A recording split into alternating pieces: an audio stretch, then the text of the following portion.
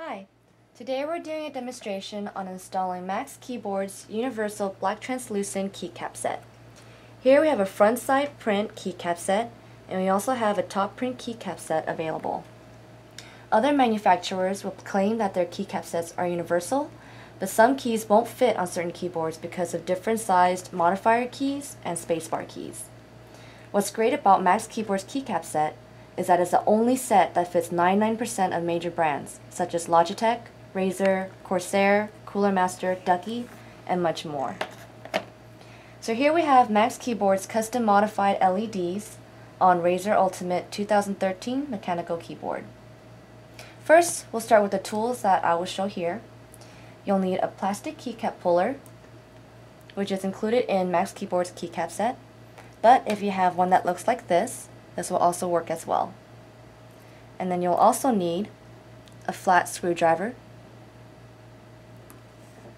And during the installation, you'll see two kinds of stabilizer bars. One is for the space bar, and the smaller one is for certain modifier keys. During the installation, you'll also see a set of stabilizer clips and stabilizer hooks. Now I'm going to show you how to remove all the keys. Using a wire keycap puller like this is less efficient because you have to pry it open each time and align it in order to pull the keycap up. Using the plastic keycap puller included in this set is more time efficient when you're pulling out a lot of keycaps.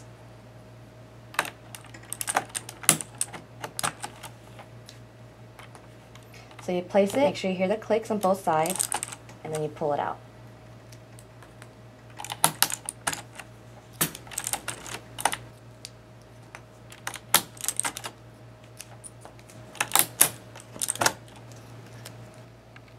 Now I'm going to show you how to remove the keycaps with stabilizer bars. This method of removal will be applied on both shift keys, enter key, backspace, the numpad 0, numpad plus, and numpad enter. So you're going to take your plastic keycap puller, you're going to push it downwards until you hear the click on both sides.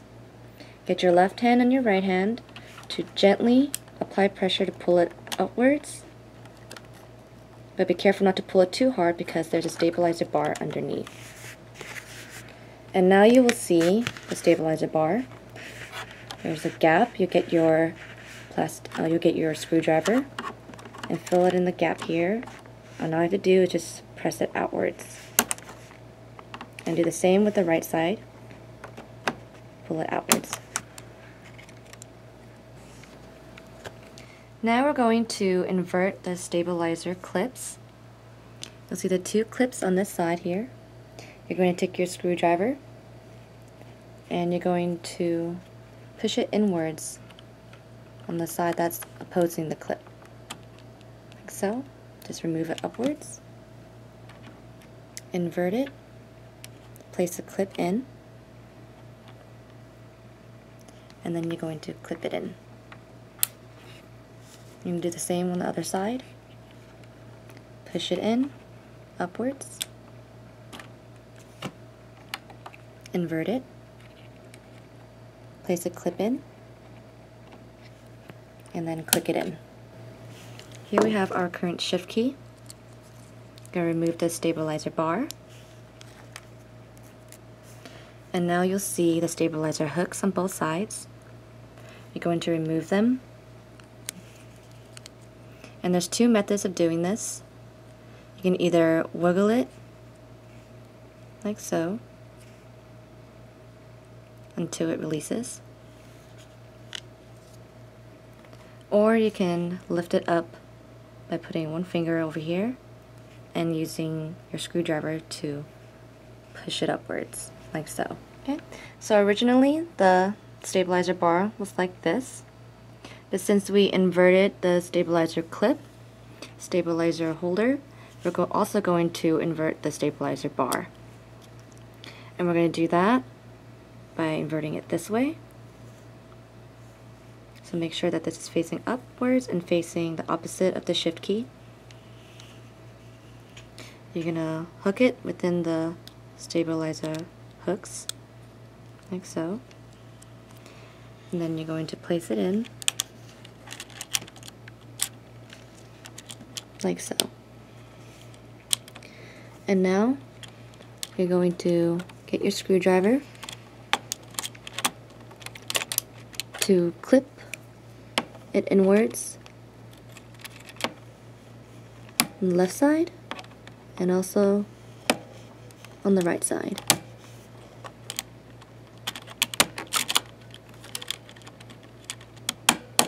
And there you have it.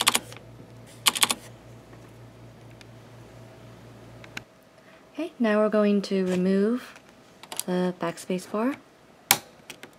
Place the keycap puller, lock it in place so you hear the click on both sides.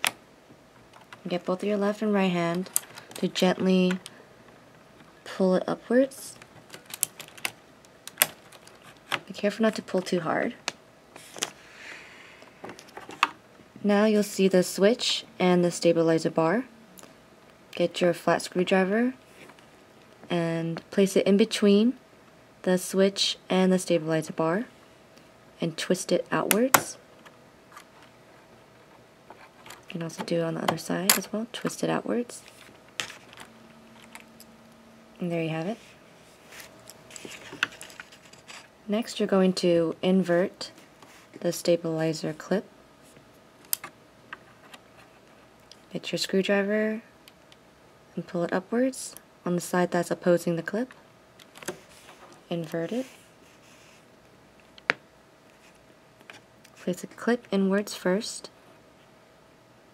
and then you click it in. Do the same on the right side. Pull it upwards. Invert it. Clip first, then click it in. Okay, so I've already installed the stabilizer hooks. You want to make sure that your stabilizer hooks are facing, the longer side is facing upwards, where the front print is. And then you're going to get your stabilizer bar and hook it exactly like this. And Hook it from the side here and over here.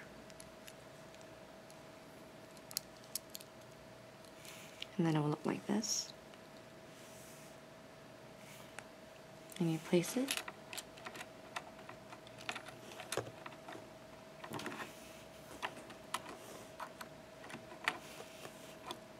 Okay, and you're going to line your stabilizer bar with the clips underneath.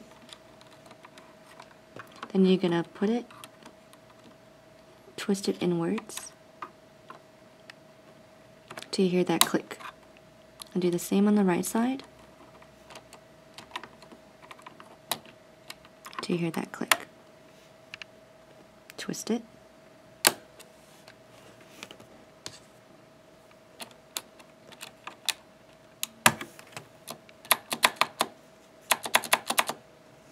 And there you go. When it comes to the numpad plus and the numpad enter keys, you don't need to invert the stabilizer clips because you can keep them in place. So you're going to clip it in, gently pull it outwards, get your screwdriver, place it in between the switch and the stabilizer bar, and twist it outwards.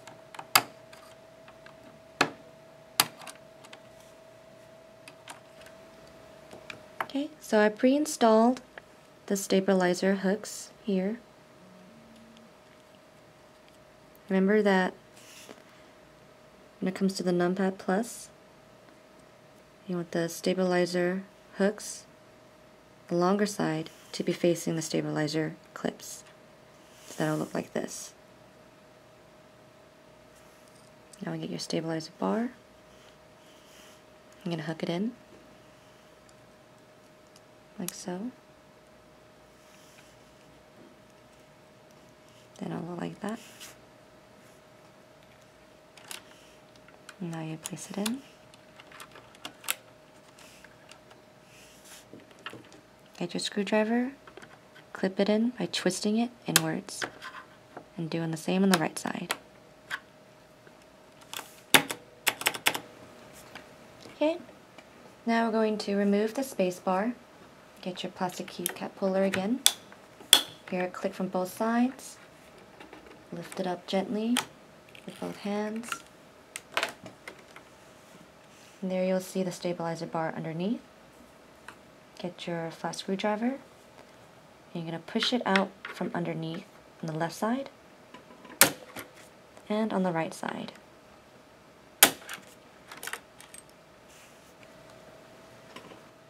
Okay, so now I'm going to show you the space bar.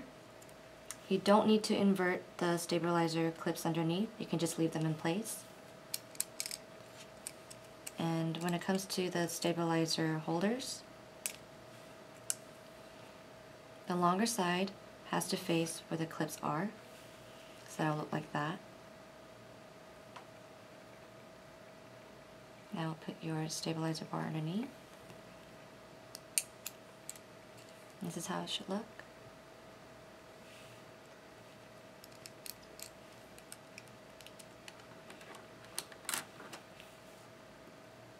And then you're going to align it, the stabilizer bar with the stabilizer clips. And you get your screwdriver and push it in, twist it in till you hear the click on the right side. Going to do the same with the left side. Push it in, hear that click.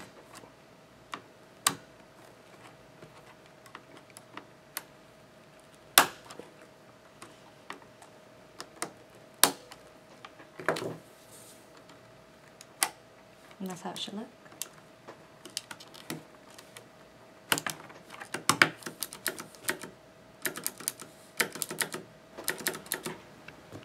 Okay, now I have installed all the keycaps with stabilizer bars. The hard part is over. Now I'm going to install the rest of the keycaps on the keycap set here. It's all already pre-labeled, so you can fit them easily in the appropriate spot.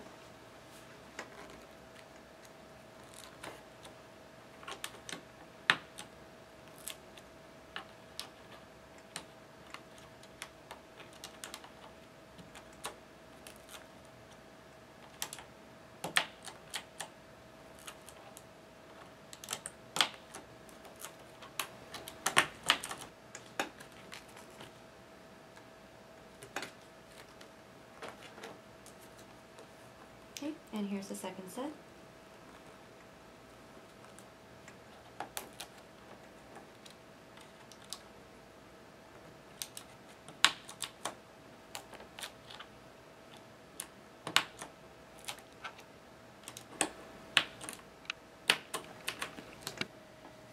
You might be wondering why I didn't use a set on the top level here. That's because the modifier keys are 1.25 unit and spacebar is 6.25 unit. Razer Black Widow bottom row modifier keys are 1.5 unit, 1 unit, and spacebar is 6 unit. Our Max Keyboard keycap set is universal because it supports 1, 1.25, 1.5 unit modifier keys, and it will support 6, 6.25, and 6.5 unit spacebars. Now I'm going to install the bottom row modifier keys located here.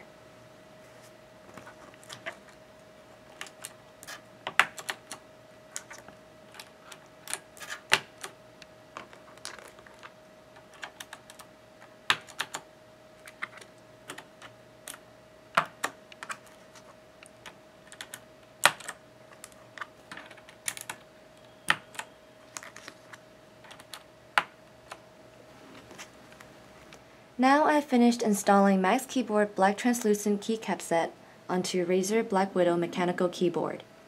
This is how it looks without the backlighting on. Very stealth looking. Here is a backlight on medium setting.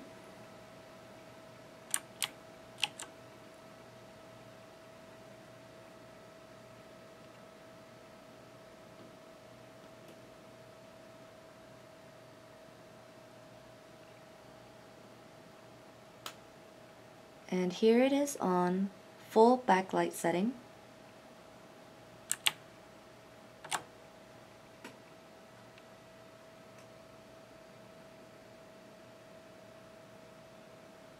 You can see like a really nice glow.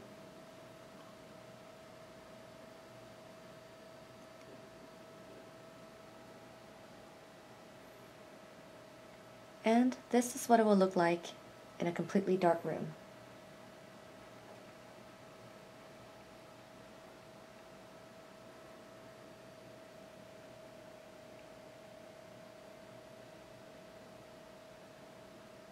Okay, thanks for watching. If you like our videos, thumbs up or subscribe.